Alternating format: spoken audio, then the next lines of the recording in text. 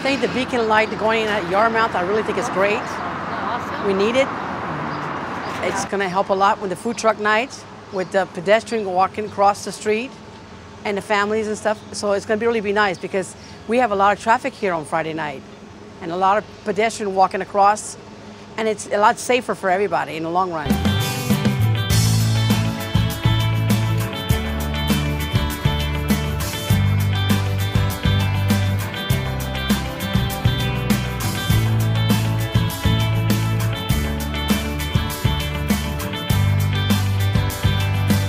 Very good idea, you know, because we have kids here, we have families, That's and, right. and they want to cross, you know, go And- back and forth, and and uh, It's a busy corner on Friday night there. this is an extremely busy corner.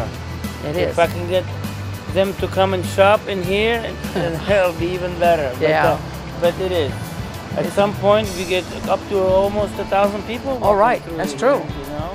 And then it's, it's only going to get busier as the summer gets here.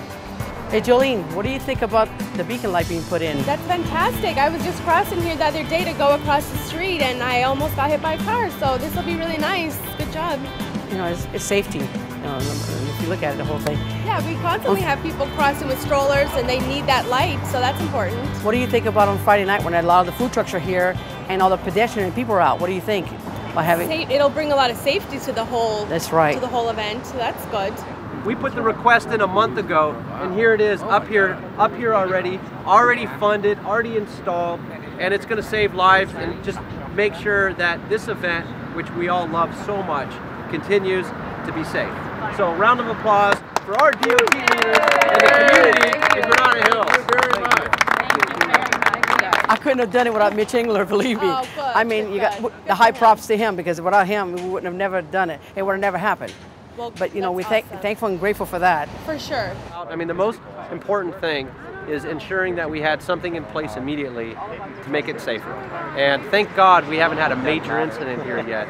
And I didn't want to wait for that to happen before we came up with this. We work very closely with council office and council office give us so many requests, but they set the priority as a safety.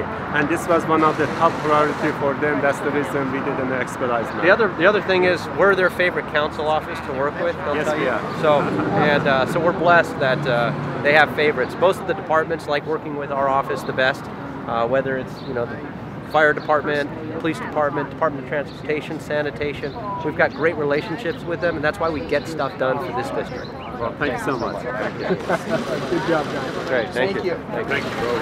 Really appreciate it. I'm Jerry. Oh, this is cool. That's awesome that he's very invested in the community. He does a lot of things for all over LA, but especially he does a special job. Like looking at everything here. He lives here.